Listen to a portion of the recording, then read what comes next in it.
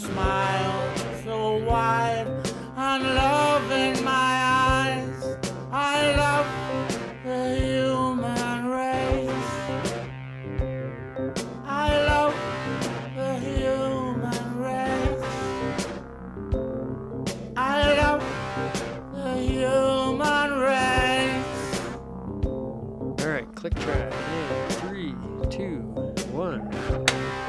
Welcome back to Jankytown, USA. Jankytown, USA brought to you unofficially and always by Beck's Non Alcoholic. Beck's Non Alcoholic. It's beer. Uh, also brought to you by the Beer Bro. The Beer Bro, it's for your beer, bro. And it'd be great if Beer Bro could send us another one of their wonderful bottle openers because I can't find mine right now. So, Jankytown USA, brought to you today also by Bic Small Lighters,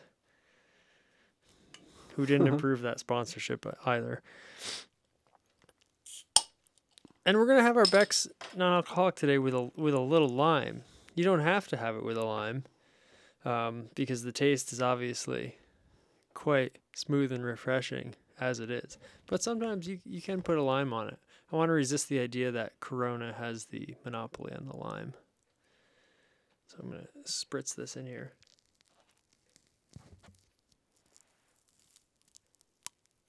I don't know if you could hear that at home, but it's going in just nice.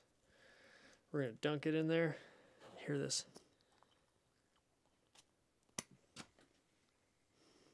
Some of that beautiful fizzing. Ah, yes, the taste of delicious refreshment with no hangover. Hmm. Okay, so welcome back. Back again. Yes, back again. Um, I was epi- I was uh, editing episode five, Mm-hmm. and uh, had a couple of notes which I'll touch on briefly if that's all right. Um, the things, a couple of things that struck out to me. We were talking about um, the greatest speeches of all time, Mm-hmm. or or Political speeches political speeches. in the United States. Yeah, I guess that's that's the that's good to narrow down our category there, and um, um, what I, what I think could be um, uh, should be uh, brought up for consider consideration, even though it's like kind of a weird speech or it's a very um, different context than those other speeches, is Nixon's farewell speech, because that was a very um, well, certainly historically significant speech, Mhm. but I would argue a very, very good speech too. I would argue years before he sort of made his, you know, uh, his long drawn out concession to David Frost of, you know, everyone wanted a Mhm. public apology or all of this. I think in this, um, I've watched it a couple times. I haven't watched it in a while, but I have watched it before. But there's that. Um, I'll just read the last two paragraphs, but there's that very famous um, speech, and then and then I want to connect that to something that's just happened recently that I think is a wonderful little duality slash analogy. So um, the last two paragraphs are, and so I say to you on this occasion, we leave, we leave proud of the people who have stood by us and worked for us and served this country. We want you to be proud of what you've done. We want you to continue to serve in government if that is your wish. Always give your best, never get discouraged, never be petty. Always remember, others may hate you, but those who hate you don't win unless you hate them, and then you destroy yourself. And that was like, and then the last paragraph. And so we leave with high hopes, in good spirit, and with deep humility, and with much, and with very much gratefulness in our hearts. I can only say to each and every one of you, we come from many faiths, we pray perhaps to different gods, but really the same God in a sense. But I want to say for each and every one of you, not only will we always remember you, not only will we be always grateful to you, but always you will be in our hearts and you will be in our prayers. Thank you very much. I think the line, the famous line from that speech is the destroy yourself line Mm-hmm. Because it seemed like he was just doing this. Um, is it mea culpa? What is it called when you have like a. Mea culpa literally means my fault. Yeah, okay. So it was kind of like My- a. yeah. maybe maybe it wasn't a mea culpa then, but it was a very you know, Nixon for they called him like tricky dick, right? And like all Mhm. this, but he seemed like he was very it was like it was like when you get like some very brief glimpse into like that person actually experiencing like a genuine moment for themselves and with the Mhm. audience at the same time. Mhm. Um, because I feel like he he honestly believed that he kind of like he, it seems like he was such a skilled politician that he kind of knew that he did this to himself, right? On one level, he needed, he had to, but I, you know how conscious he was of that, I don't know. Hmm. But that one line about, you know, if you hate others, you end up destroying yourself. That's pretty much what he did. that's why I'm saying that's that's why I'm saying it was he was so it was such a self-aware moment because he was like and this is why I separate we talked about Nixon versus Trump. This is why I kind of separate Nixon from Trump because I feel like this this is a moment you probably would not get from Trump. I can it would be extremely difficult to imagine doing that. Yeah, this is very conciliatory here. I Yeah. mean, he kind of like so um anyways, I think that should be entered into the register for and and, and I say and I, and I would say best speech because it's such a break it's such a um a level of of like humility from Mhm. someone who's not necessarily always very humble Mhm. and maybe we should maybe we shouldn't you know i guess it's up to each individual person to say how much they want to like take him at his word and all that but it Mhm. seemed like just a very very um you know uh, human moment so are you familiar with fiona apple She's a singer. correct I can't piano tell player you. Yeah, I couldn't tell you what her songs were, but mm-hmm. well, she just came out with a new album, and it, Hmm. um, Pitchfork, who I, you know, no offense to Pitchfork, but I don't know how relevant Pitchfork is. For a couple decades, or at least a decade in the internet era, Pitchfork was like the be all end all of, um, certainly like indie music and and probably a lot of pop and mainstream music too. They were just like, it was kind of like Rolling Stone almost, where they were just like this authority on, um, you know, music, and they were Mhm. very hip and yada yada yada. I don't know how much they are anymore, but um, it's one of those things where they still obviously hold some clout because they've rated this album, uh, which is entitled uh, "Fetch the Bolt Cutters." They've given it a t- perfect ten rating, which hasn't happened in I think twelve years. And the last one was um, a Kanye West album, "My Beautiful Dark Twisted Fantasy." Something like I think it's the only, it's, the Mhm. only it's actually the only Kanye West album I've ever listened to, which is a certainly an admission of my lack of knowledge of his work. Um, but that's all neither here nor there. The point is, um, she released this album, but I will say it's kind of a funny thing. Like there's this like weird give and take gimmick that you're playing. Like you you don't you intentionally don't rate things a perfect ten because you don't because you want to elevate that thing to a certain thing. But then eventually you're gonna have to pick out like is it completely organic when you rate something a ten or is it just like hey like we're gonna give this one a ten Completely subjective. Right. So like there's such there's just inherent there's a lot of inherent like political goings on in in the fact that you it's not like you've set a policy that you'll never give someone a 10, but then you can only do it in these very very limited hmm times. Unless, you know, maybe in 2 weeks they'll really they'll make another album that's a perfect 10 and then like the you know the whole world's shattered. But then they can't do it for like another 15 years. Well, yeah, it's it's clearly arbitrary in whether they decide to give out one or two tens every year, or they only give it out once every decade or two is clearly up to them. yeah. We should write some jokes about perfect 10s. Well, I mean, the Baseball Hall of Fame writers have done this for decades. That there was always one or two holdouts so that people wouldn't get unanimously voted into the Hall of Fame. Mhm. Willie Mays, clearly not unanimous, ridiculous. Yeah. It's just this sort of way. Well, no one's good enough to get unanimous. Now, in the last few years, they've changed that. But William Mays, Warren Spahn, Tom Seaver, Hank Aaron, Yeah. they're not good enough that everyone in the world who knew anything about baseball knew the day they retired they were going into the Hall of Fame. In Mhm. fact, many cases five years before they retired, they were clearly so good and had such a enormous, you know, lifetime stats.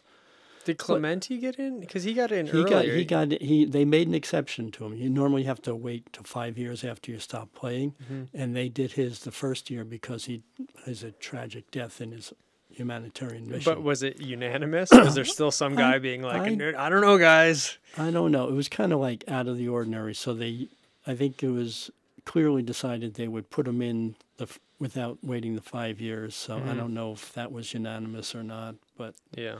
I mean, he was clearly. I mean, you watch him play. He was just like, just a great, great ball player. Mm-hmm. And everyone who knew anything about baseball knew he was a Hall of Famer. Mhm. And they, in order to acknowledge the tragedy of death and his death, and that was not like he was something doing something stupid like driving drunk. He was on a humanitarian mission. Mm-hmm. So Yeah. But I, but I still don't know if it was unanimous or not. I don't know. Yeah. Well, of course, Mariano Rivera was the, the first unanimous vote, right? Right. So why him? Right. It's, it's, it's all it's arbitrary and capricious. Uh, yeah, it's funny. Um, so again, all that neither being here nor there. Uh, this album is quite good. So Mhm. at least it's not a you know, um, it's definitely within the realm of possibility of being a ten, if that means anything. Um, but she's got one song in particular that really impressed me, and it's called Relay. hmm Um, and the lyrics are uh, Evil is a relay sport when the one who's burned turns to pass the torch. And it goes, Evil is a relay sport when the one who's burned turns to pass the torch. So it's like this real, uh, hmm um, and then it's, I resent you for being raised right. I resent you for being tall. I resent you for never getting any opposition at all. I resent you for having each other. I resent you for being so sure. I resent you for presenting your life like a fucking pro- propaganda brochure. And I see that you keep trying to bait me, and I'd love to get up in your face, but I know if I hate you for hating me, I will have entered the endless race. hmm And that to me is like exactly what Nixon is saying in that speech. I mean, it's almost literally what he says. But I, this is, but I know if I hate you for hating me, I will have entered the endless race. And then obviously it's a you know a relay. Um, and then he says, always remember others may hate you, but those who hate you don't win unless you hate them, and then you destroy yourself. So, anyways, this is my, you know, when I have, you know, all these, you know, you go through your life and on any given day you have all these thoughts swirling and all these inputs and outputs. So it was just funny that I thought of that speech when we talked about that. hmm Um, and then we were talking about Nixon, anyways. And I went like on a weird Nixon rabbit hole this last winter and fall. Um, and I should do more research on this. But interestingly, Pat Nixon seemed like she was quite a uh, unstoppable force. She had a lot of little firsts in the White House. But I got Really? I got to do more research on that before I present it. Um, uh, yeah, and then this album comes along, and I'm listening to it, and then the song comes along, and then so those two things just fused as like this weird, like you know, analogical duality in my Mhm. head. So there you go. And today's the 50th anniversary of the first Earth Day, and Nixon was the one who signed all these um, environmental laws into into being. Yeah, well, there you go. So very. Uh, And I don't, you know, he clearly was a conservative guy. I think one of the reasons he signed those laws in because he just happened to be president when the country, the entire country, woke up and said, "What? We don't have to have egregiously polluted air and water. We have a choice. mhm, Let's do it. Let's do Plan B." You know. mhm. and he happened to be there and, and they're like you know both it was really bipartisan acknowledgement that you know we just can't keep shitting in our water supply it's not a good idea we will make ourselves sick Mhm. and not us, just us but supposedly the children and grandchildren we profess to love you know it's, it's just like can't do it anymore and somewhere along the way we the republicans especially just decided to stop believing in that. Of course we can kill the environment. We'll just we'll make money on it. What's like what's to think about if you know it's like one of the things my thoughts for here is is like you know environmental protection gets in the way of corporate profits for some companies. And that's intolerable to them Well, this is so funny because going. Uh, one more thing is, it is Earth Day, so happy Earth Day, and um, or we're recording this on Earth Day. And the other funny thing was yesterday was the uh, anniversary of Prince's death, uh-huh and I just finished a painting that not only references Prince mm-hmm. insofar as uh, the figure there, which is sort of Prince inhabiting Janelle Monae's body on the moon, Mm-hmm. uh, hence the purple suit. But also, it has uh, a nice little picture of the Earth in it. So I thought that was a funny little thing that tying Prince and Earth Day together on these back-to-back days with this painting that I just completed without Mhm. really thinking about either of those anniversaries. Yeah. mm. So that's another little. Two days ago was the anniversary of the uh, the big blowout in the Gulf of Mexico. 420, you mean? Yeah. Oh, I don't think most people associate that with the big blowout in Mexico. No, the, the oil. they might spill. associate it with some things in Mexico, but right, or in Colorado and California and Washington. yeah. But no, that was a big um, oil spill in the Gulf ten years Oh. ago. Wait, the the Exxon Valdez? no, no, no, that was up in Alaska. This was the uh, Horizon something. I Hmm. can't remember the. It was the oil derrick, Deepwater Horizon? Deepwater Horizon. Oh yeah. That one blew out ten years ago on uh, Monday, I think it was. Oh. Interesting. Yeah. Good thing that didn't happen on Earth Day, huh? Well, it, it was happening on Earth Day because it took them a while to. Yeah, remember those cameras when it just had the Yeah. stuff just spewing out? And now here we are where oil's at a negative. Yeah, that was a, a little blip for some oil contracts, which I- uh, the the interesting thing is Yeah. Every all the the orthodox economists are always saying, you know, uh, praising the uh, these um, agility and the um, rapid response of markets to you know respond to different conditions. You know, they they're more agile and quick to respond versus a clunky bureaucratic government type of uh, control. Mhm. But um, despite the fact that oil price has been crashing for weeks and weeks now, and the fact that as soon as the virus hit, um, it was relatively easy to predict that oil demand would go down, and this was in addition to the already oversupply that caused you know Saudi Arabia and Russia to try to control their output. Despite all that, all these companies are still pumping out oil because they can't figure out there's no market for it. And that makes like zero sense if you believe mainstream Are they s- orthodox, ortho, you know, orthodox economics. It's, Huh. it's like does not compute. so that a shows song. so that shows you like orthodox economics is um, not tightly tethered and tightly aligned to physical reality. Are there are they still producing oil? Yeah. Is that why it's negative price? Because they need to put something. The negative price was because- because they because- need to store it, right? They had nowhere to store it, so they had to pay people to. that was for certain contracts at the end of April or something like that. There was the way these futures, oil futures, a lot of people invest in these oil futures and they'll say, oh, I think if I buy it at $30 a barrel now, I expect the price to go up to, say, thirty-one and dollars an hour, dollars a barrel. And, you know, two months ago when I when they have to actually someone actually has to physically take delivery of these this oil, and so I will buy these barrels now with the intent I will sell them for more later on. What is it? But if no one, if you're if you still have this contract and no one's buying it because they expect the price that you bought it from is way higher than what they can buy new contracts for, then it's tough for you to sell. So and so what do you do? You have to you have to take delivery of it uh, once your contract reaches a certain date. So these people couldn't sell it because the market was being flooded with even cheaper oil. So they had to basically pay someone to take it, and someone would said, "Well, I'm going to cost me a lot of money to store this, and I'm going to have to sell it for a cheaper price. So yes, I'll take it if you pay me thirty dollars Mhm. a barrel." Why don't they just give it away? To who? I don't know. Like if anyone wants some oil. Right, and what are they going to do? If? I was then? in Houston, I'd like drain my swimming pool and be like, "Yeah, here, come. I don't know, pay me forty dollars a barrel of oil." And Yeah, uh, first of all, it's the contract might have been for more than a swimming pool's worth of, uh, oh, there's a minimum buy on and that. and the amount of money it would cost you to clean out and refurbish your swimming pool would probably be more than what you'd make on the deal. Yeah. What is a future?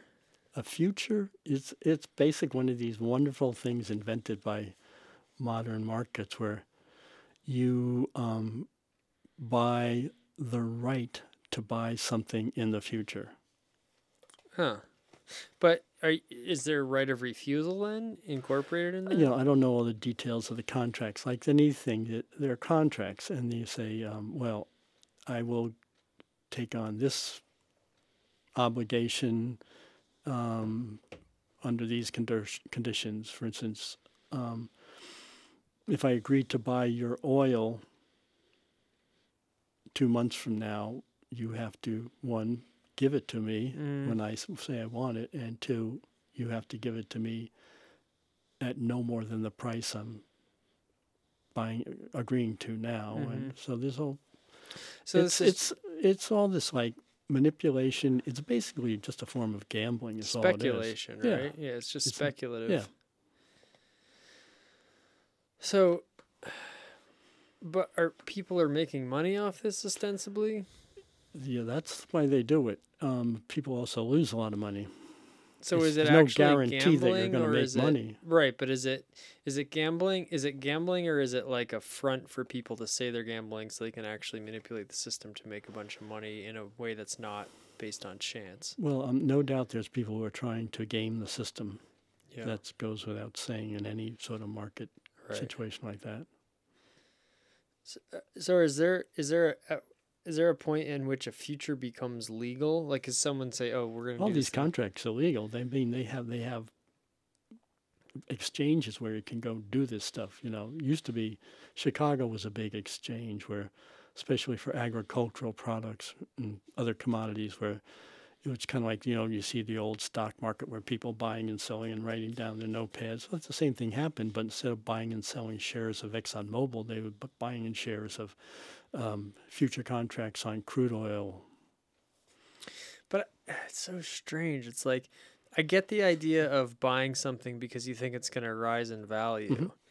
But then like why not just buy it now and then sell it when it's going to rise in value? You're buying it before you're you're paying for the rights to buy it later with the hope that it'll go down. So is it like is a is it buying a future essentially It's shorting then?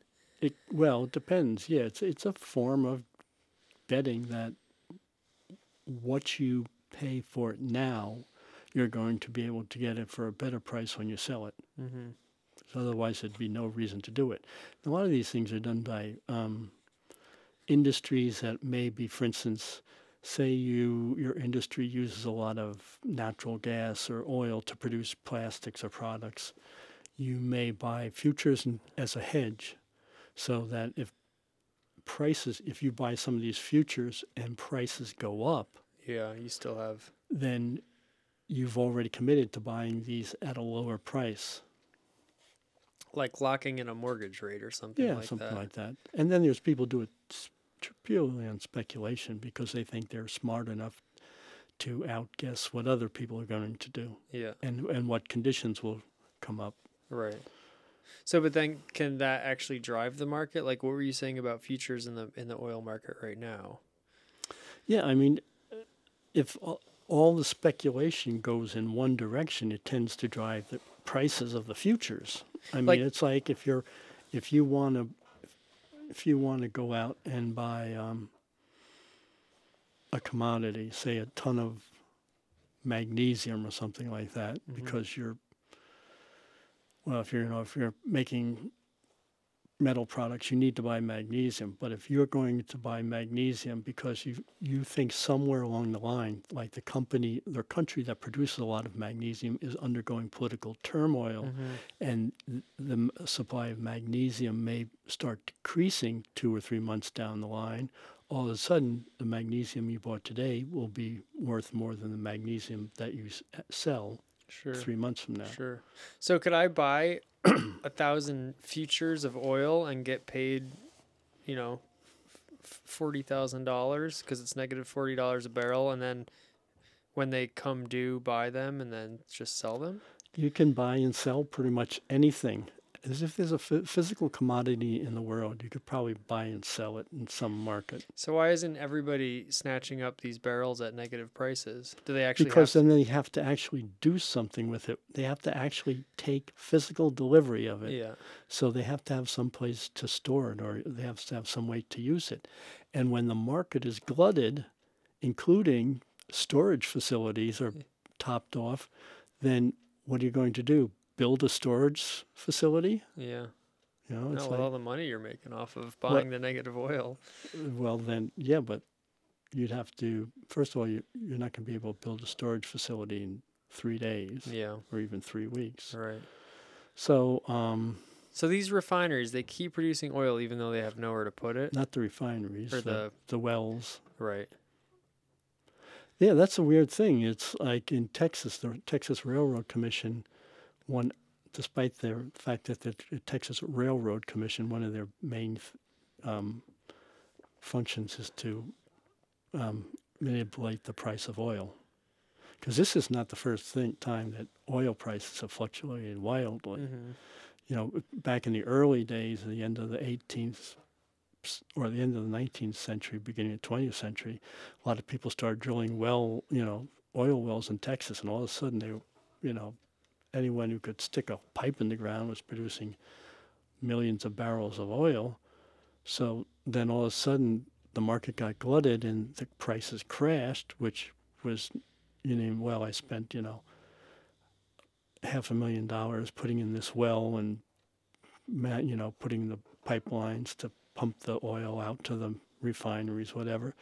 And I can make a profit of oil goes for twenty dollars a barrel, but now it's going for two dollars a barrel because everyone's selling it, and you know, supply and demand says, oh, now your oil is almost worthless, hmm and then so people would shut down, have to shut down because eventually they they can't make any money, so then they would be shut down, and then the supply would shrink up, and then the price would zoom up, and you have this wild fluctuation. So again, the, this is one place where the free market doesn't actually exist because the free market in circumstances like that is so chaotic that it just destroys itself. That's Mhm. where government, i.e., the Texas Railroad Commission, hmm comes in and says, you know, if if we only produced X amount of barrels of oil this month instead of two or three times that amount, that will keep the supply in sync with demand, and we can get a good price, and everyone will be make a profit.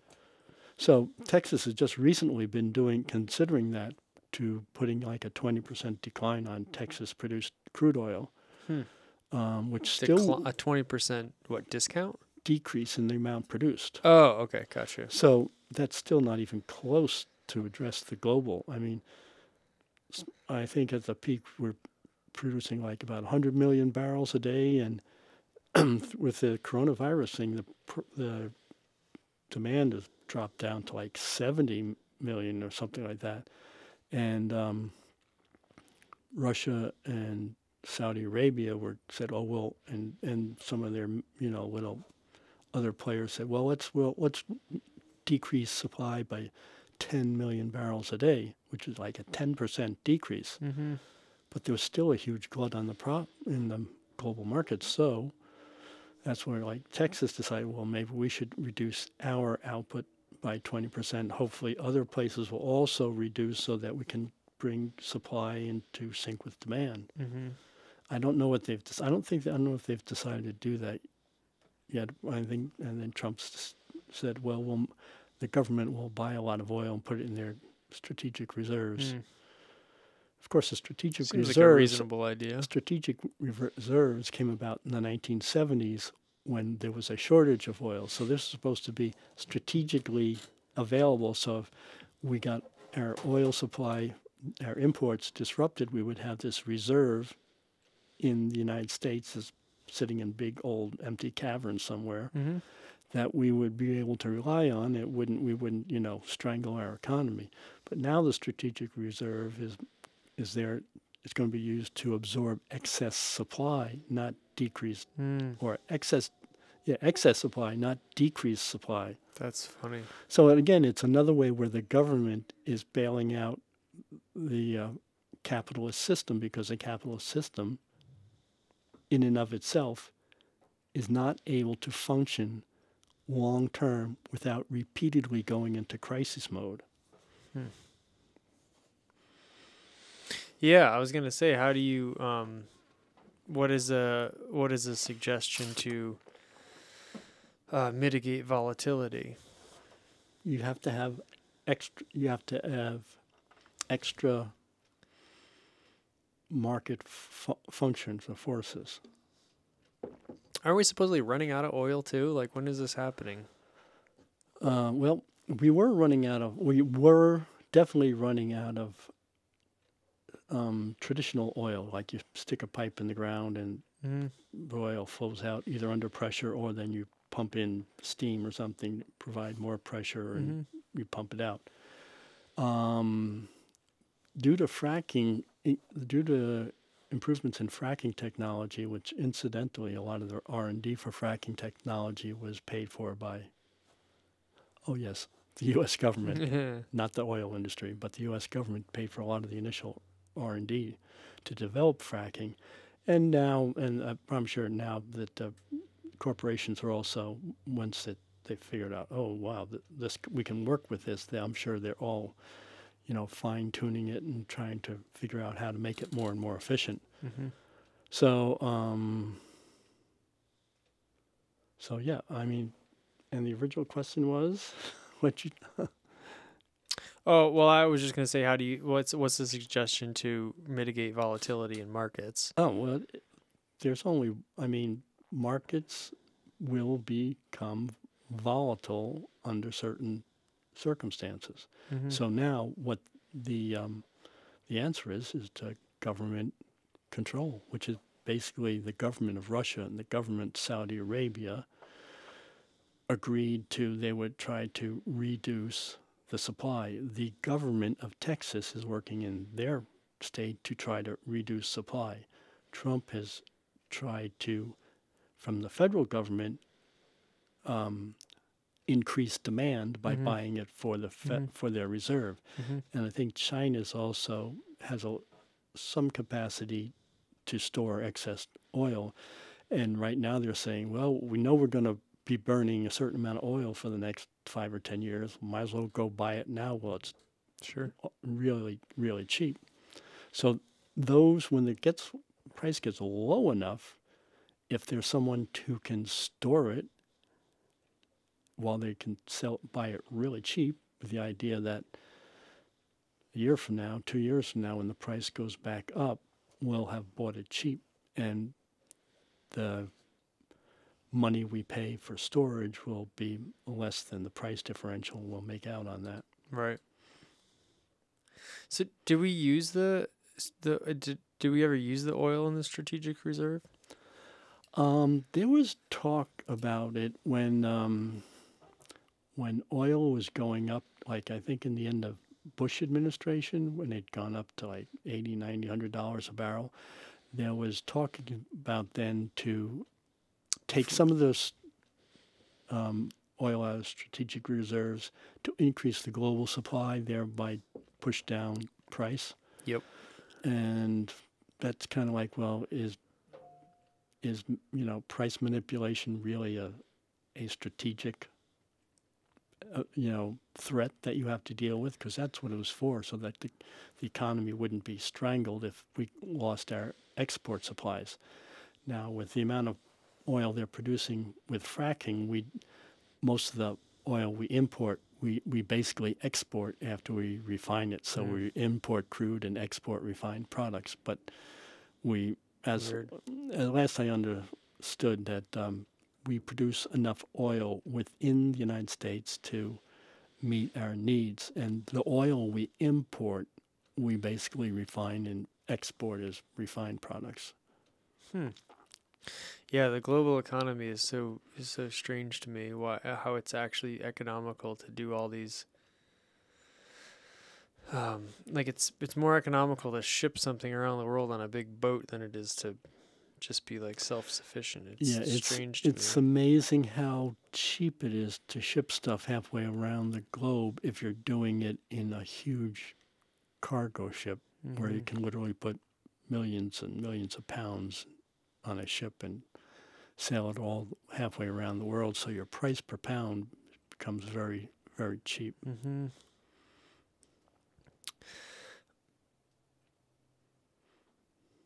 So why don't we just nationalize our oil? Because we live in the US of A, where capitalism is one of our fundamental tenets. But it's just so it's it's, it's so cockamamie to me that we it's like so we produce all this oil more than we need, Mhm. but then we don't keep it for ourselves. Instead, we sell it. Well, most of it, most of the oil we produce, we consume. But th- what's happened is we import additional oil, Mm-hmm. refine it, and then export it as refined products. So basically, if we Mhm. didn't have that extra in and out, we would basically just consume what we produce. So the only oil we buy is stuff that we refine and then sell as like because we have a It's- good it's- refinery. What? Apparently, process? apparently, there's enough refinery process there so that there's excess refinery process, so it's worthwhile to import it, refine it, and sell it for a higher price. Plus, the labor to take it out of the ground in other countries is much cheaper than here, right? Yeah, So it's not just the can buy it labor, but if, for instance, fracking is much more expensive to remove a barrel of oil from with fracking than it is from just like pumping it out of this big giant pool of oil Mhm. underground, which is what most of Texas oil used to be. yeah, But then, you know, after many decades, they've consumed most of that. So now they're going to fracking, which is more difficult, more expensive to extract. So, whereas Saudi Arabia, all their oil is basically the old fashioned one where you stick a pipe in the ground and you cost you a f- few dollars a barrel to pump it out versus fracking may cost you 20 30 dollars a barrel to extract it. So if oil is 40 50 dollars a barrel and it costs you 30 dollars to extract it then you can make a profit. But if you're paying 30 dollars a barrel to extract it and the price of oil goes to 20 dollars a barrel then you're losing 10 dollars for a barrel for every barrel you extract problem with that a lot of these companies fracking companies are so leveraged they're so much in debt that they can't afford not to have income Mm. because they have to pay off their loans. Oh, yeah, yeah. So it gets it gets it gets really It's complicated, not what. really it's not how they tell you to run your life in the personal finance classes. Nope. You're running a constant deficit. Yeah. So and it depends where you are. In, in certain fracking areas, are the cost to produce a barrel is less than others. And of course, the main thing is when it's important to understand when you look at long-term effects. Um, when the companies go to extract oil with fracking, the only reason they're doing fracking is because they've already gotten most of the cheap oil out of the ground. Where all you have to do is stick a pipe in it, maybe put a, you know, put some steam pressure on one end of the field and push help push the oil out. The reason they're going to fracking is they've already consumed most of the cheap oil Mm-hmm. the easy oil. So now they go on to the next way to get out oil, which is fracking. And shale Yeah. sands and all these. Yeah, like a couple, and- four or five different like Right. sort of these secondary options, right? And when they go to do fracking, they don't just randomly stick a pipe in the ground, start fracking it. They, you know, the geology imaging they have now with their sonic imaging, it's almost like a CAT scan of your underground. So they, they start off by going to the most productive, cheapest to produce wells first. So it's pretty much predictable that each year it, that the cost of fracking will go up and up unless they can have um, counteracting improvements in technology that make it cheaper. But there's, you know, who knows where that limit is. But we know that Well, it sounds like it's already been passed if these companies are only staying alive by taking deposits so they can keep their operation going. Yeah, it depends upon the particular field that and the particular company, and there's a lot of variables that go into it. But like the tar sands in Canada, Tar are like- sands. When I said shale sands, I meant to say Yeah. tar sands. I think f- until the price of oil goes up, they're like they're they're done. Yeah. Well, certainly if it's at a negative price, then yeah. Well, negative price, no one can make money at a negative price. But I mean, that was just for a certain series of futures contracts, which have now come washed out of the system. So hmm that won't probably won't happen again anytime soon. Yeah. I thought fracking was only natural gas. No, you can do it for oil too. Huh. And some wells produce oil and natural gas because Huh. they sometimes they're found co-located. Just pump them out together. Yeah. Yeah. Yeah, that's what Eddie Bauer does. Yeah. I've seen his little software where he's controlling a well from hundreds of miles away and Mhm. making small little, you know, articulations to go, you know, Right, so that they you drill on a grid. And drill where the pockets are. hmm Yeah. Yeah, it's very Yeah, it's- sophisticated stuff. Well, that's what he always says. He says like the oil and gas industry has better technology than anyone in the whole world. I mean, it's it's or better than any industry, you know, because it's really such a complicated. Well, yeah, well, and they have so much capital. So Right. And I mean, for what at that scale they might be true. I mean, the microchip fabs also have extremely sophisticated, but it's at a different scale, a different type of level. sure, yeah, this is more of like a physical technology, Yeah. although highly computer dependent. Well, microchips are physical too, but they're, they're the nanoscale in- instead of the tens of yards scale. yeah. um. Yeah. Yeah, the oil market's another one of those things that's uh very strange right now. Why don't all the I mean, I guess this is what OPEC kind of does, but I mean, couldn't all these companies just get together and be like, "Listen, everybody, like, stop making oil," or why don't we just lie and tell people we've stopped making oil so the demand will go back up, so we can start makes, making some money off of this Well, you stuff? Like, if you just- have excess demand, you can always sell it for a price that indicates that it's, you know, it's like a limited edition item. Like you might have more items of those than you're saying, but you're only releasing a certain amount of them. They can, even though they have more oil, they can just say, "Oh, we're only selling this much oil." Can't Well, they well, you'd think that inflate demand? you would think that the oil producers, and OPEC did this for a while, would get together and say, listen, if we produce 100 million barrels a day right now, the, the market will be flooded and the price will collapse. If we got together and produced 70 million barrels a day, we could charge 60, 70, 80 dollars a barrel. And we'd make a lot more money. We could sell half as, we could sell two thirds as much oil for twice the price, and we'd make more money. for twice as long too because then you're Right. not then you're not then you your amount of demand is you Right. you know, cumulative cumulative capacity goes a longer way Well, it makes sense, except that's not the way individual states. They're not always.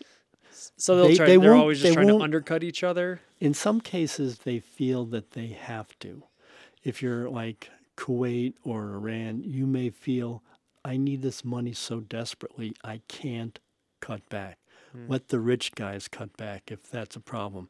But I can't cut back because I can't afford to drop in revenue. yeah Of course, they're going to have a drop in revenue anyway, but they want Russia and Saudi Arabia and the United States to be the ones who cut back because they can afford it nominally. yeah But um, yeah, so yeah so you just have different levels of desperation and Yeah. motivation on different sides mhm.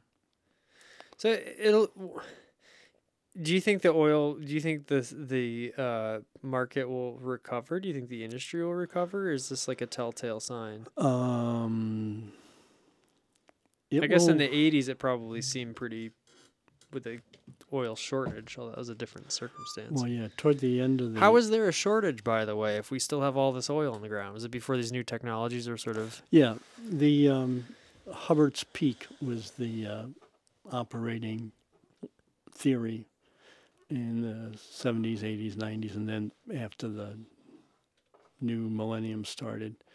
And that was based on this guy, um, M. King Hubbert, I think was his name. He's a big time oil geologist. And he basically looked at the curves and he said, hmm, we're going up, you know, and he looked at like individual fields and he noticed like it's a parabolic um, curve. You know, you start up steep and you get producing, and then after a while you hit your peak that you can produce from that field, Mm-hmm. and then you tailing off, going down the other side of the parabolic curve. Sure. Well, he said the bigger market is just a summation of all those smaller, smaller curves. And basically, he said, well, you know, come around. Um, oh, I forget what the prediction was, like 1970 something. And he was making these predictions back in the 1950s. He said something like 1970 plus or minus five years, that the U.S. will reach their peak of conventional oil production. And he basically nailed it pretty much within a, a year or so. Yeah. And so from the 70s on, we started importing more and more oil, which then when the 70s oil crunch hit, then there was a long waiting lines for people to buy gasoline. People, you know, you'd see pictures from from the time where people had their cars lined up Oh, yeah. for a mile waiting to get into the gas station. And Well, because they only had certain hours, right? Right, and there's a limited supply, and there was, you know, all this thing. Well, this is just a conspiracy to drive up the price of gas, and you know, like there is always, but it was because OPEC started stopped selling us oil, and so we became became supply constrained. And then once things eased, that's when they came up with the Federal Strategic Reser- Oil Reserve, so that the next time that the squeeze was put on, we'd have this reserve in reserve, and we could use that to tide us over Mm-hmm. till things got normal again. Mm-hmm. So that was like in the 70s, and then I don't know, maybe in the last 10, 15 years when fracking started becoming more and more common. Um, I mean, even back in Jimmy Carter's time, we knew there was huge amounts of shale that had oil in it, but there was no really economic and energy efficient way to extract it. Now, Right. with the fracking, that solved that issue, at least for the better shale fields, at least for now. Yeah. Of course, it's done it at large extent in terms of its, you know, usage of water and producing toxic waste at the end and yeah. um, We're already, uh, forgive the pun, but scraping the bottom of the barrel, right? I mean, as it is. Well, that's people disagree on that. People say, "Oh yeah, well, there's always more shale. We'll always find a better way to be more efficient for extracting it." But physically, it's always going to keep getting harder and harder to get more oil out of the ground, unless someone finds like this huge, you know, oil pool underneath the Arctic ice cap or Mm. something like that, or in Antarctica. Um, Well, is that a possibility if the if the planet's warming too? if you get to the point where there's no ice in the Arctic um, during the half the year, then that means the war- planet will be warming up so much, and so many other things will, will be going haywire Yeah. that having enough oil will be one of our minor problems. Rather But look, but look, we we got more oil. Yeah. the thing that got us no, I mean, and some of the some of the wacko crazies who says you know have, they have this idea that well global warming is good because that gives us more access to oil in the Arctic, and what what are you going to do with that oil? Well, we're going to burn it so we increase global warming even Mhm. more, Mhm. so that way we can melt Antarctic too, Yep. and that way sea levels will dry, rise about 200 feet and Two hundred feet. yeah, if if we melt all the ice on Greenland, then the sea levels will rise about 22 feet, which means Miami's gone. Most of Florida is underwater. Yeah. New Orleans gone, Houston gone, Yeah. m- much of New York's gone, much of Boston, Shanghai, um, um, Calcutta. But this Well, is a lot of you know cities are just going to be underwater. That's that's if Greenland goes. Now, if Antarctica, all the ice in Antarctic melts, then we don't go another 22 feet higher. We go an additional 200 feet higher sea level. I, I'm not. I'm not saying this in any. Goodbye, London. Goodbye, Netherlands. Well, goodbye. Yeah, I'm not. I'm not saying this in any sort of advocational way, but I do think it's almost just like the human species. We're almost like a procrastinatory species as a whole. There's certainly Mhm. some people that are preparatory, but largely we're procra- we're reactionary. I feel Right. like, and we also ha- it's a strange combination. We also have to happen to be very good at adaptation, and we also happen to be. It's like we're no. It's like we know we're good at adaptation, so that allows us to procrastinate. But don't you think that there will be like we've undertaken so many irrationally large projects as humans? Like, don't you think that we could just build a levee around New York City? I mean, isn't that it's not necessarily the, the smart way to do it, of course, but don't you think that There's there a difference is- between building a levee of 10 or 20 feet and then around a certain area and building a level levee of, say, 100 feet over a much, much larger area. right? And also, it's not cheap. And also, No, of course not. then you have to worry about, for instance, Houston, when um, the uh, Hurricane Harvey said came and hit it. If Houston had a levee all the way around it, Uh-huh. they would have had to open the levee to let the water out, Huh. Not not to keep Assuming the it water went from. over the levee. Well, no, it did come over. It came in the form of rain. Yeah. So right, they needed, right, they would have had to open up the levee or had pumps to pump the water outside the city. Yeah. Yeah, I don't know. Like in New York's case, I don't know how you. You'd have to. You'd have to build it so far out from shore that you're just creating. It'd be like a lock, basically. Yeah. You know. Yeah, no, you have to let ships come in and out of the harbor, Yeah.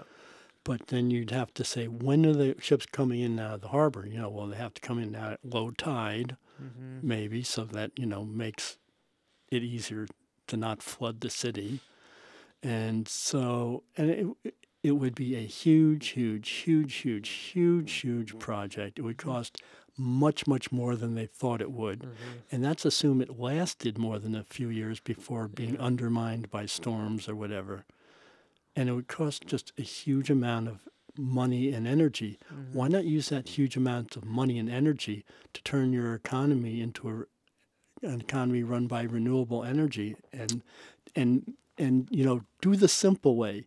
You know, let me see, let me see. I could um I could invest um hundreds of millions of dollars finding out how to you know get really sophisticated scanning machines and train legions of doctors and all their you know ancillary health workers and produce you know all sorts of massive drugs and treatments to treat lung cancer or we could stop smoking Right.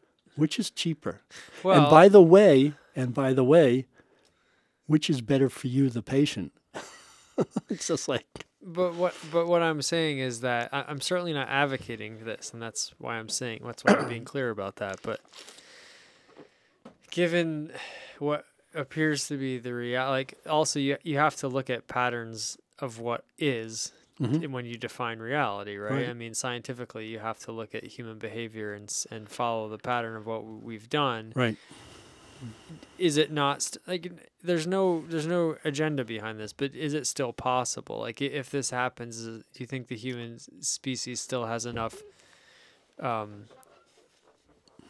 power to to to hold these things at bay, even if it's in like a very not well thought out, reactionary, expensive, inefficient way? um, one or two really wealthy areas might do it. Is India going to do it for Calcutta? Yeah. Um, is in, you know, are they going to do it for the Cairo? Or are they going to do it for um, I don't know any Miami? Or I mean, are they going to do it for like a twenty or thirty big coastal areas? I mean, Well, these are the questions that arise. Yeah, and the thing is, why would you want to paint yourself into a corner where your only option is to choose between two really, really very expensive, disruptive, horrible, traumatic choices? Mm-hmm. That's not a that's not a logical thing to do. No. That would be a basically insane thing to do. But that's where we're headed. And people, the average person, if you could tell them, if you could say, well, um, we know that there's a lot of civilizations that have come before us that are no longer there. They collapsed. They dissipated, they went away. And there's really people have been studying, archaeologists and various um, scientists have been studying what happened to these cultures. Why did they go away? And I think that by far and away the biggest, single biggest reason is because of environmental degradation. And we know we're doing this. You know, it, t- 500 years ago, 2,000 years ago, they may not have had the knowledge to understand what they were doing and why their civilization was faltering. They just didn't have the technical, scientific wherewithal. But now we do. So why don't we use it to avoid dissolution, to avoid collapse? Mm-hmm. Well, it may be because humans are incapable of thinking at that level of logic and discipline. That, so that we will collapse. And it's not because we didn't have the technology or the knowledge, it's because humans are so fallible that they will they will shoot themselves in the foot rather than admit that they need to do something Mm-hmm. different than what they've already been they've been doing all their life. Mm-hmm. Th- Do you there- think it's it- very, very, very, very tough to tell anyone anything that they don't want to hear. Yeah. And so many people in this country and around the world, they don't want to hear that the way they are living their life is inherently destructive and unsustainable. Despite the fact that if they allowed themselves to hear that, they would be given they would be also be able to hear that there are options so that they can still live the way they want to, but they will have to adapt as to how they go about doing that. So it's it's uh, it's like you know if you're an alcoholic or drug addict, how do you when do you finally say that's it that's enough, and some people reach what they call hitting bottom and they Rock say bottom. okay, and other people don't. In our society right now, there's plenty of people who know what the science tells them. They know what history tells them. They know what the physical evidence tells them, and they want to change. And there's other people said, no, not going to change. Do you think it's a? Do you think at all it's like a, a numbers game? Like, this is a whole other. We'll have to have. We'll have to pick up on this conversation because I got to do a little base reading and then I got to prep you or or just give you some time to think about your answers. But because I know Einstein has this like light speed problem, right? Where you can't. It's like this. It's it's kind of like law of diminishing returns, where you, the closer you get to light speed, the harder it is to get there, and then finally there's this like little like weird barrier where you can't actually ever attain light speed in the yeah, physical um, the faster you go, the greater your mass is. So the more you energy you need to accelerate, the ever greater mass, which becomes ever greater Slows as you, you down. as you approach the speed of light, which and which is that that comes the paradox of what a photon, because photon has a rest mass of zero, but it does have mass. yeah. So somehow light be, attract, uh, achieved mass despite the fact that it's at the speed of light. So do you think this is this is an analogy I'm trying to draw? Is that like do you think that's what humans are like and maybe all civilizations are like where even though we accrue more and more technology because things grow ever more complicated and even though we have more and more individual humans because they are intertwined and that becomes more complicated it becomes more and more difficult to have like a clear objective defined path and that all that intertwining creates like even though even though again paradoxically even though we accrue greater and greater amounts of technology and ability our our web of human social order and interaction makes it m- more and more difficult to actually achieve sustainability as a species because of that complexity. Um, Does that make any sense? this the some of the complexity in terms of increased knowledge about how the physical world works does is not readily held and potentially. I don't, you know, I don't think the average person would have a really tough time understanding how global warming works if they just sat down and had someone give them the basic explanation. The problem in the United States is there's a certain percentage of the electorate which will not, which will adamantly refuse to hear that information. Right, but what I'm saying is maybe that subset of people comes is a is a natural byproduct of the enlargement in general. Uh, It's like basically like is it easier for a small community to survive than a global society? Even though in in theory we have all these things that can we we're we're gaining knowledge from parts of the world we've never had access to before, but in doing so it, it you're you're shoving all these diff- disparate ideologies against each other and it can become like combustible and anti-productive. Um, I'm not sure the ideologies necessarily.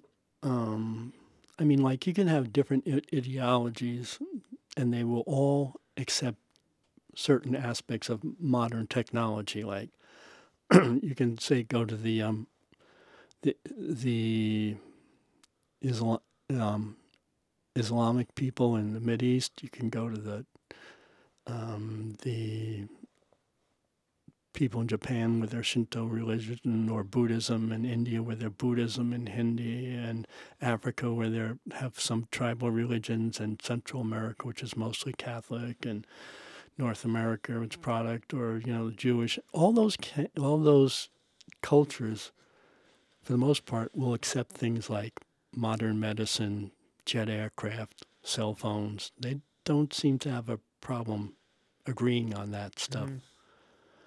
I think the big problem with global warming is um, there's winners and losers in the transition, Mm-hmm. and the losers have a huge amount of money and political influence, and they've conducted this massive, well-funded propaganda that global warming is a hoax and it's just there to destroy the you know the economy and it's like and without bothering to actually understand I mean the the people who promote the propaganda understand that they're telling lies and they're manipulating people for their own narrow personal is gain. that do you, do you hold that to be a fact?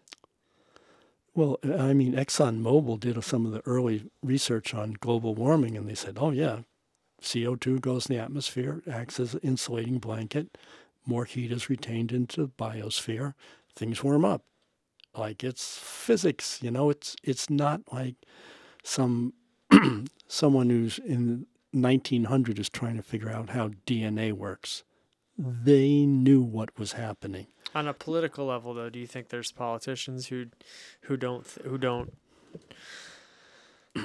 um who aren't trying to steer people away from it in a manipulative fashion? There's some there's such thing as called willful ignorance. Mhm. Like you know, you know that if you learn about this something, you'll have to change your mind or at least take a position, Mm-hmm. And so they just refuse to learn Mm-hmm. because they've already made a commitment for political reasons right. and or ideological, emotional reasons that this is not going to work for them in terms of their narrow, short-term interests, and which is all they really care about. Yeah. So therefore, if their vote in the Senate or the House condemns future generations to needless suffering, they don't care. It's it's it's a complete abstraction to them. Uh-huh. What they care about is, oh, I get reelected, I get power, I get money, I get egotistical stroking, whatever it is. That's all they care about. I Mhm. mean, and you you can they they may deny that on a stack of Bibles, but Huh. you know, as the saying goes, actions speak louder than words. So their actions say who they are. Yeah.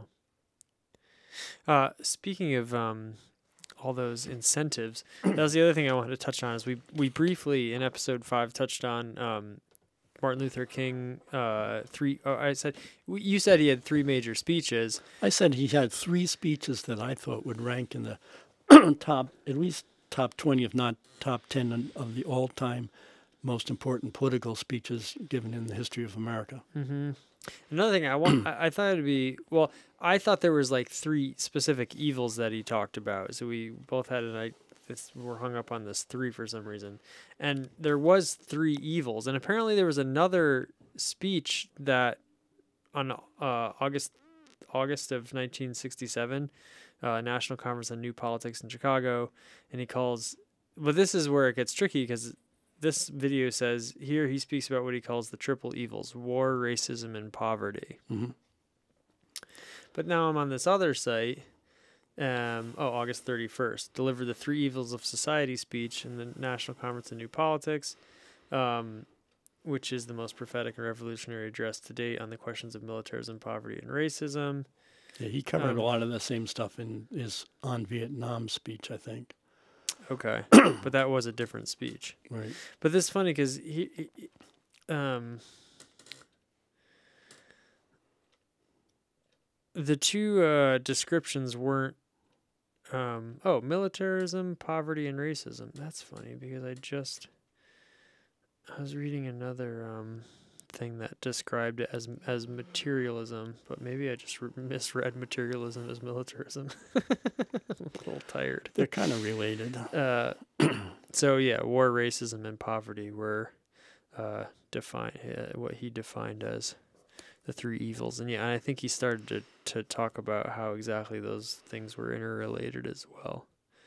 Um, but it seems like if someone is being willfully ignorant and a, a political position of power, then they're definitely tapping into some of that. Um, I was gonna go somewhere else with this too. My show notes. Um,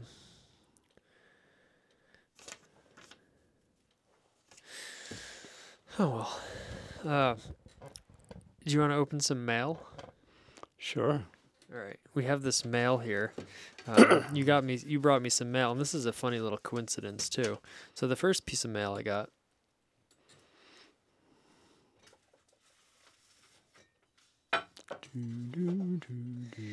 Being the successful businessman that I am, I get lots of solicitations for credit card from credit card companies, and uh, I got two of these. Two of these, they look the same. There's an invitation included. Yeah, they, they're they're. I didn't respond to the first one, so they solicited me again because they're I'm a real hot commodity and they're seeking my business. So this. so now this is it's from uh the black card. That's all it says. It doesn't even have a return uh Oh, it does say stamp. MasterCard black card. When you open it up, but when Yeah. you get the envelope, it just says black card. It sounds Yeah. like the the FBI is trying to Well, it recruit does have me a or something. MasterCard logo down there. That's true, but there's no return address. No, I, I that uh, that anytime there's no return address, I, I immediately become suspicious. Yeah, I I bring it back to the post office and say return to sender. I don't actually do that, but I would like to start. If I had a lot of money and more money and more time than I currently have, it'd be a completely kind of wasteful thing to do. But it'd be fun just to. Well, you could just if it's addressed to you, you could you could say return to sender and drop it back in the mailbox. Oh, really? And in this case, they'll probably um, just toss it away. Yeah. It would be fun to send all the stuff back to them because, in theory, mail is a correspondence, right? Um, so we open it up here, and then we have this beautiful. It says luxury card, and then it also says apply now, which is a little bit of nice, uh, gentle pressure. And then it's telling me it wants me to think about life without limits, which is a trademarked phrase that they've um, trademarked here. Yeah. And Here's my application for the MasterCard Black Card. It tells me I can experience more, which is also a registered trademark. Right. And then, uh, oh, they give me an envelope. I, and there's some I, I think. I think they should re- trademark their 16.49 percent of interest. That's low. Usually these things go up to. well, APR for cash advances is 26.74. There you go. Now, I, I think they should trademark that as "We will screw you royally." But my favorite part of Oh, it's only 4.95 for an annual fee. So they're only going to Four charge hundred ninety-five dollars. for an annual fee. Yeah. So they're going to charge you forty nine four hundred ninety five dollars. you could pay them four hundred ninety five dollars for the um, the privilege of borrowing their money at like fifteen to sixteen percent more than they what they cost them to Because they want me to experience more. more yeah more debt more poverty. Give us your money so you can experience more poverty. Apply now. Maybe maybe luxury is just being uh you know buried in debt. Yeah, and, and ignorance is strength, and war is peace. So for four hundred ninety-five dollars a year, I can have life without limits. Yeah. Like maybe maybe they'll put maybe that means they I, they won't even put a cap on the interest rate. You know, like it's an unlimited interest rate.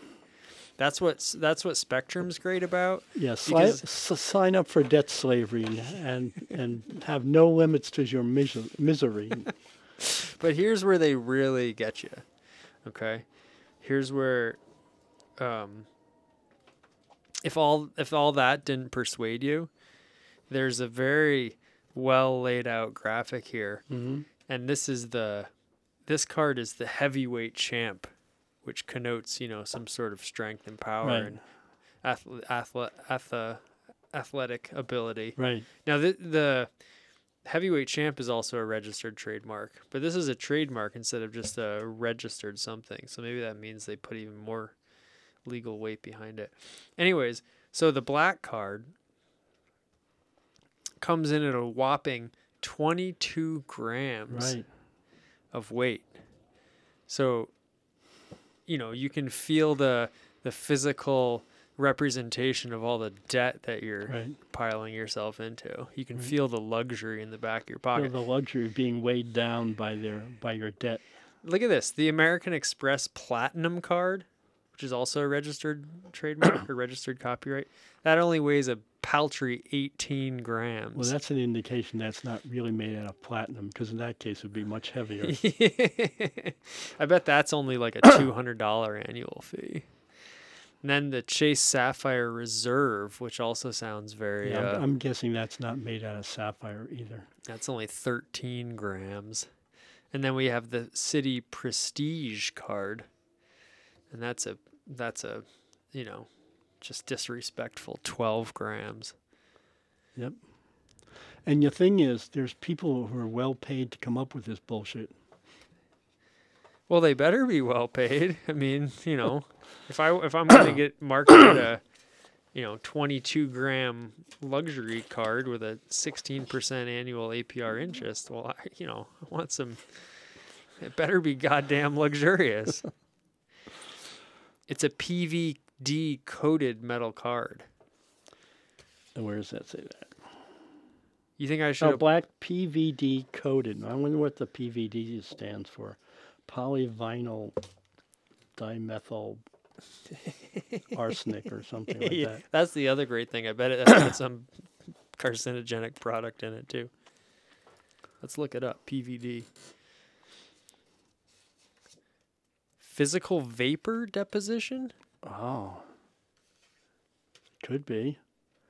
Physical A vapor a- deposition. describes a variety of vacuum deposition deposition. I just want to say deposition makes me sound like a lawyer. Physical methods which can be used to produce. Thin So- films and coatings. Yeah, could be. Maybe that's put some of the things there so that they, uh, I don't know what that's for. Well, I'm sure a lot of the, you know, maybe that's what my $495 annual fee is going towards the research, the scientific research to create. Maybe a- maybe that's used for your little chip there, but I don't know why that would need to be. huh. I mean, let's try to make this piece of plastic as expensive as possible so you think you're not getting ripped off, which of course you are.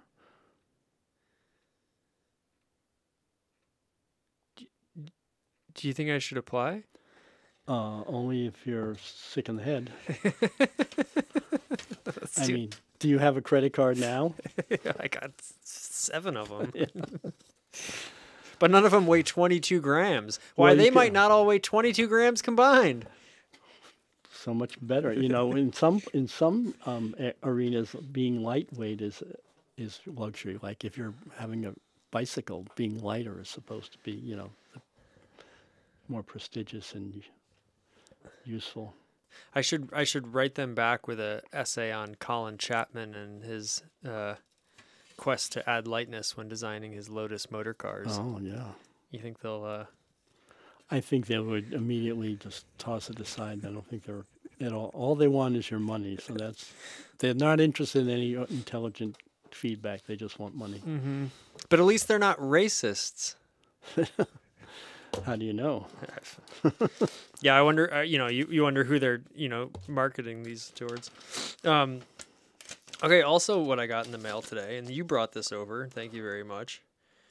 Was so in New York State, a great thing is that you can, um, if you have your car registered and insured as a, in the historical class, Mm-hmm. you can get what are called period accurate plates. So you can buy an old Aha. license plate from the time the car was manufactured and legally have that on your vehicle. Uh-huh. So I have these plates on my 1986 Ford Aerostar currently. However, I found another license plate that I thought was even better and I applied. And this is funny because with coronavirus, I thought the DMV was closing everything. So I sent this out thinking maybe I'd get a mm. response in like, you know, September and they sent it back really quickly. And it's only like $3.95 to Well, get this, which yeah. is really cheap for a, you know, New York State bureaucracy. Mm-hmm. So what I've gotten now, my new registration Hot and spicy. so that's a that's a vanity plate that someone made, and you know I think these ran from '86 to 2000. These uh, New York plates. So this will be gracing the front of my uh, my Aerostar.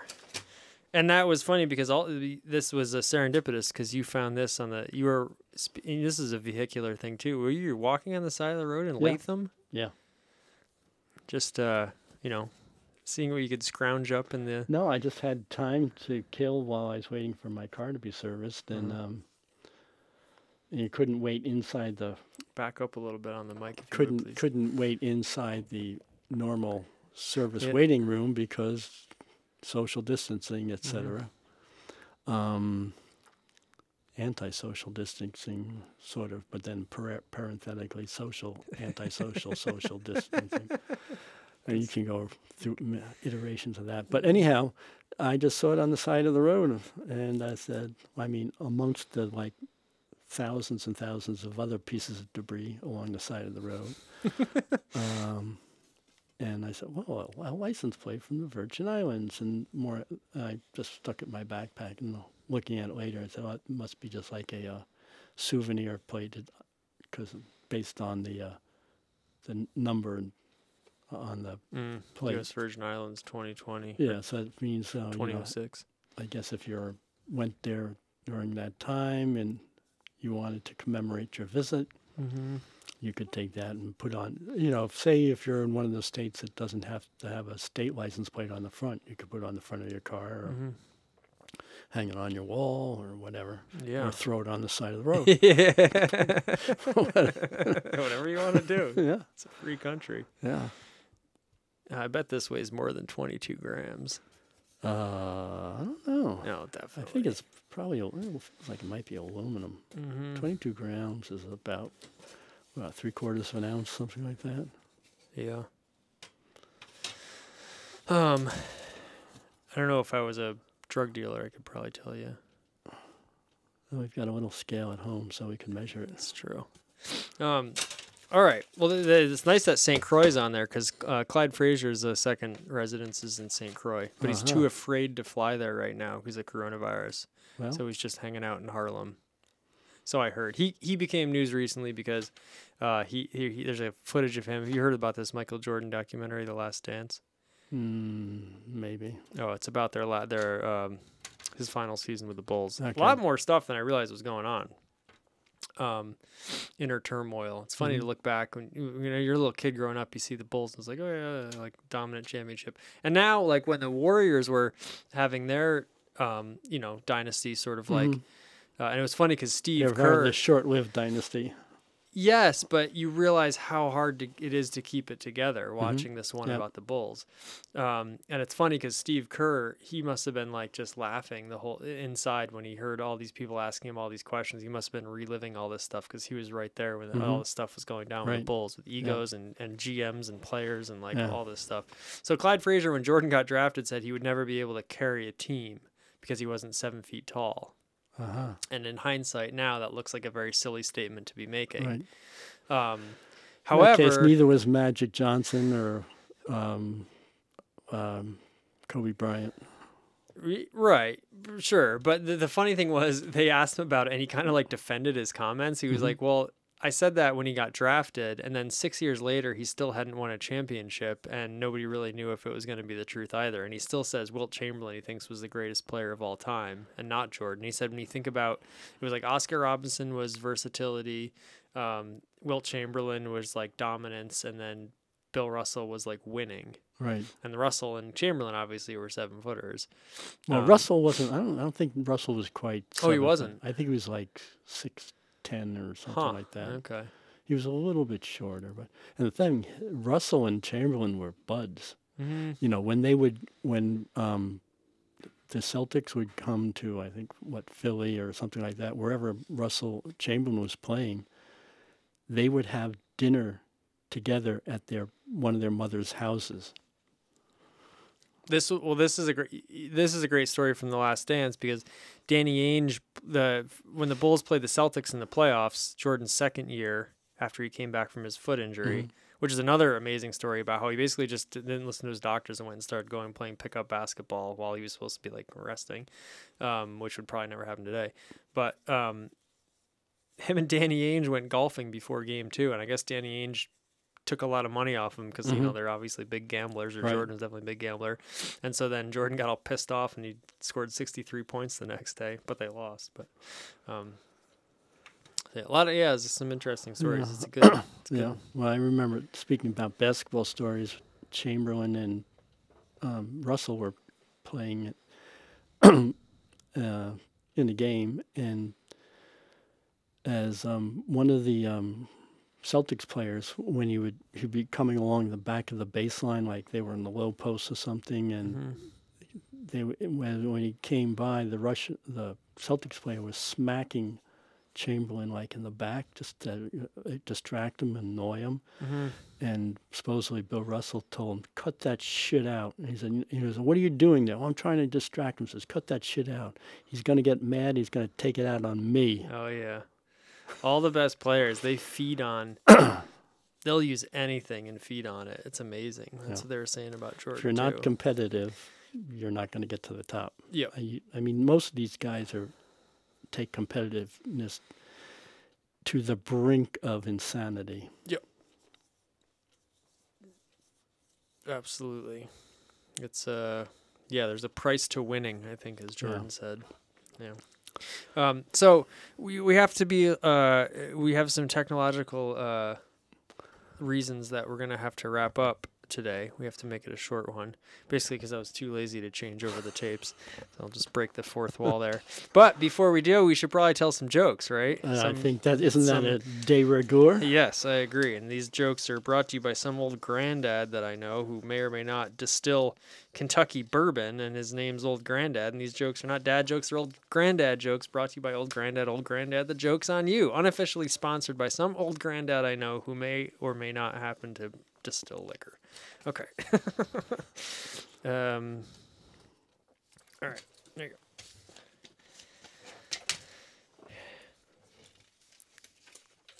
You know, as an American, I'm all for having choice and freedom. So I like it when I walk into the store and have to decide between 26 different types of toothpaste.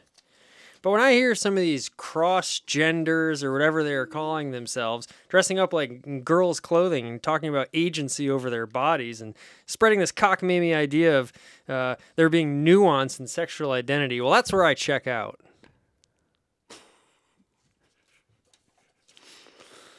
Okay. I'm looking for the joke there.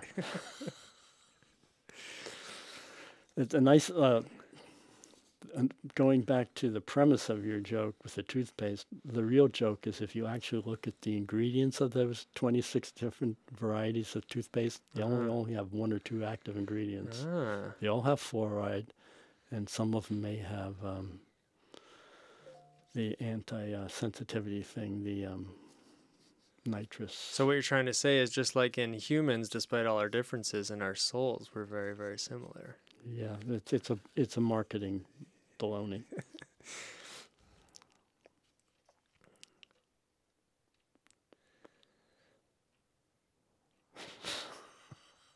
See, I may I may be behind the um, curve on um, the um, scuttlebutt on certain high-profile personalities.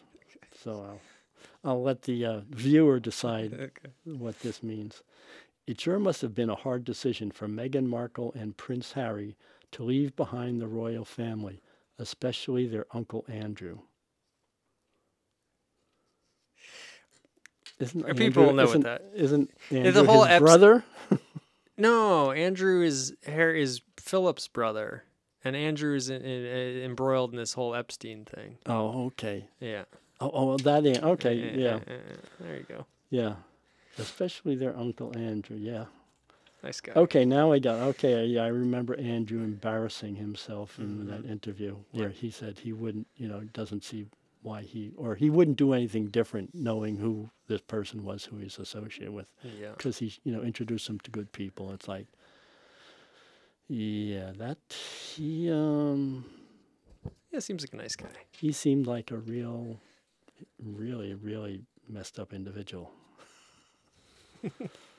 And what's with all these pronouns? He, she, it, they, them. Over 60 pronouns out there now. You think these people have would have something better to do with their time, like like spending hours a day on Amazon shopping for personalized laser engraved toenail clippers, for instance. There are so many, so many good ways to spend our time. Okay. You know what they say denial is not just a river in China. It's true. On that note, uh, this has been Jankytown USA. Jankytown USA brought to you always and unofficially by Beck's Non Alcoholic. Beck's Non Alcoholic. It's beer.